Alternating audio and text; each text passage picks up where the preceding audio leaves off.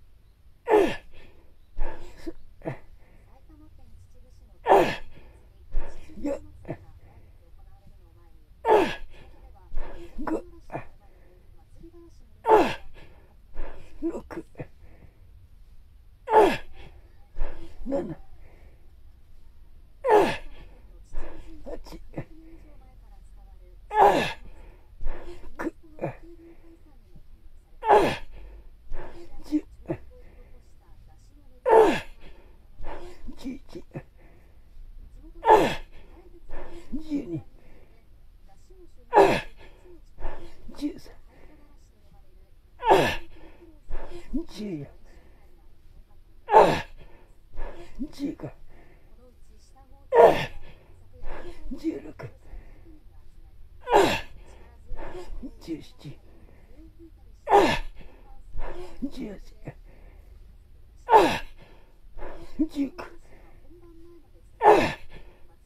18、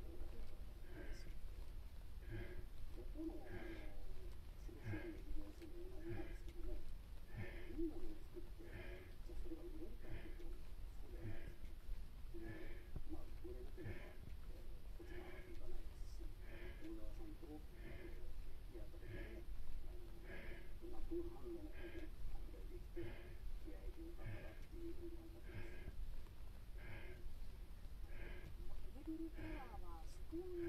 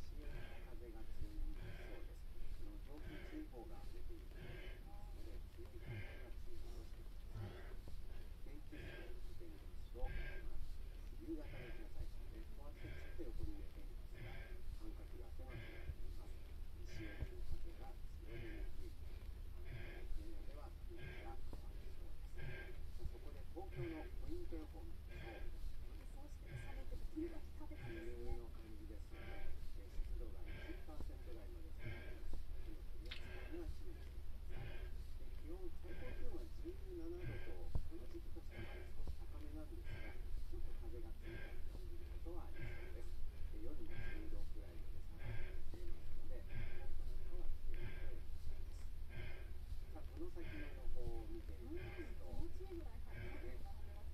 しいパターンになってすね、が続そうです。ただ気温はまだ最高気温15度以上の日がていて、え、この時期としては高めなんですね。で、最新の1ヶ月予報で気温の上がりますね。ですから、向こう1週間はまだ平年より高めなんですが、はい、その、低め、そして、ま、ほぼ平年並みという方は、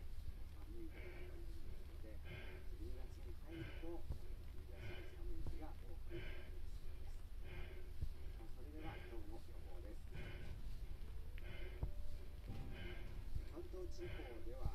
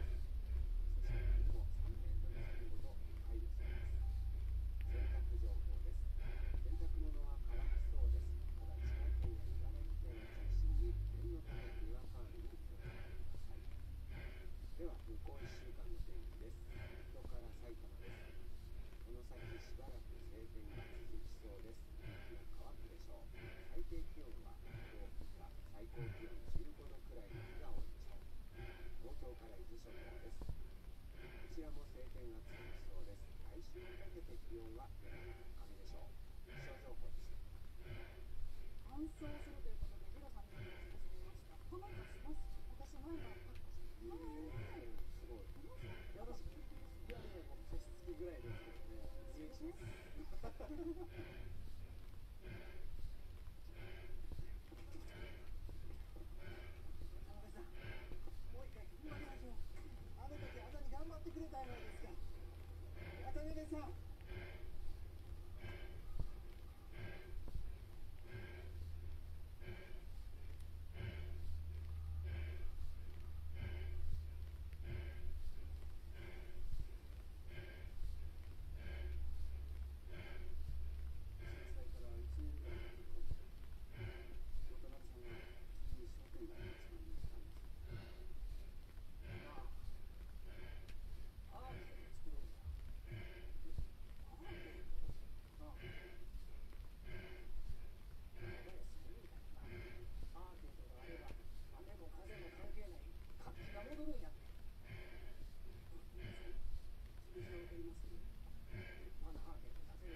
昔みたいに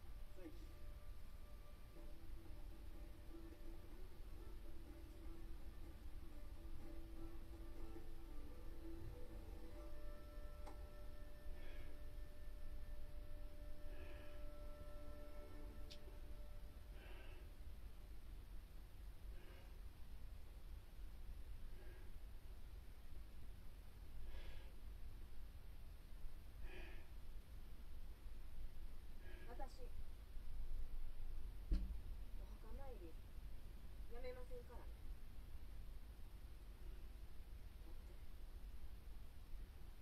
うちとまきちゃんは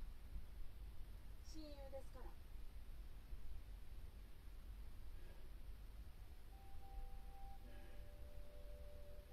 他人の目は気にしないこれギャルの起きてあの人だけはずーっと追い詰めたままあの時みん。などこおったの立ち直る時間は人によって違うと思うんですみんなそれぞれのやり方で朝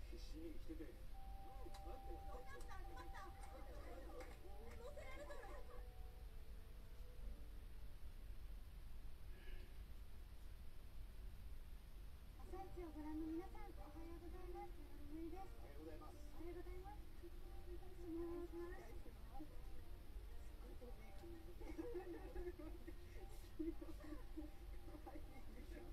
朝一登場はね僕は多いの頃以来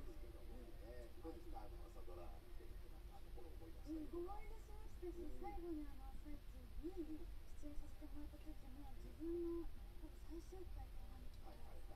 皆さんと見させていただいたので、あすごい懐かしい気持ちになりました。今の頃高校生今の頃高校3年生でしたね。はい、そういった思い出話もね、今日は理解ながらの先界の情報もね、はい、ろいろお伺いしたいと思いますけども、えまずはですね、長野さんの大親友から、まさんメッセージが届いておりますよ。はい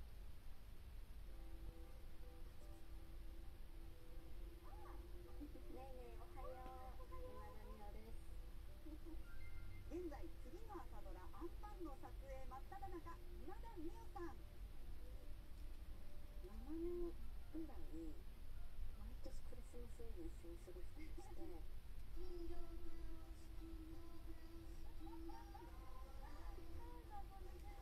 月に2回は会うほど仲良しだというお二人今田さん。だけが知る長野さん。の素顔を聞くと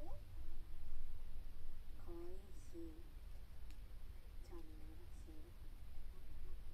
でもどんどんどんどん知っていくととってもかっこよくお手掘りあふれる一面もあって車も運転するの結構好きであの一緒にお出かけするときに家まで迎えに来てくれてで最後家まで送ってくれたりとかする検索しちゃいますよ立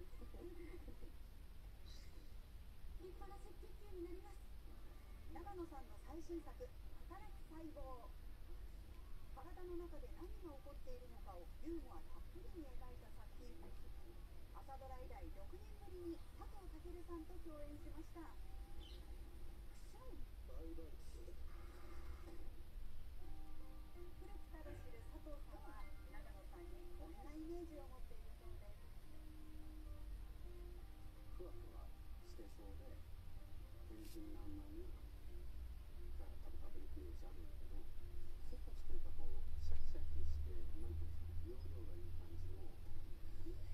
は長野さん。とってもアクティブ冬はスキー夏はサーフィンそして愛車はなんとハーレー・ダビッドソン今日はみんなの知らない長野年に迫っていきましょうええ驚きの写真ですねちょっと前にネットニュースに上がっててもう本当に驚きましたけども今日何枚かちょっとお写真お借りしておりますお早速い。きましょうか、ねこのバイクねもちろんご自身の、はい。マイバイクです1868ですこれだからえ結構な免許取らない。と乗れない。やつですよね型二輪があればえーあればない。ばねこれ芸能界も永瀬智也さんしか乗ってない。勝手なイメージですよ、はい、そのクラスのやつだと思うんですけど、えー、これは誰かの影響とかですかあのもともともみんなバイクの免許を持ってるので、まあ割とバイクに乗るっていうことが身近にはあったんですよね、なんで多分自然とバイクに乗るもんだと思ってましたえー、お母様とかも母もバイクの免許持ってるんですねツーリングとが当たり前の環境だったから実はなんかこうそんなに遠くないところにバイクの存在があったのでえー、詳しいねスタッフさんに聞くとなんかカスタムされてるバイクなんですそうねこれなんです結構いろんなとこカスタムしてて、ここにも書いてあるんですけど MN っていうのロゴが入ってるああああいい中野で富士山のあのくぼみのところからそういう書いてあるのも見えますねでもこれは普通のバイクには入ってない書いてないですメイン中野本で書いてあるえーちょっとざね漠然とした聞き方になりますけどななんでしょうバイクの魅力というのは僕がね僕らが全く分からないのでバイクの魅力もいっぱいありますけど、私が一番感じるのは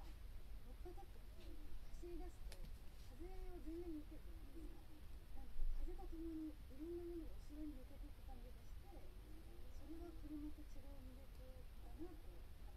写真も見ましょうか、えーこちらは。サーフィンでアク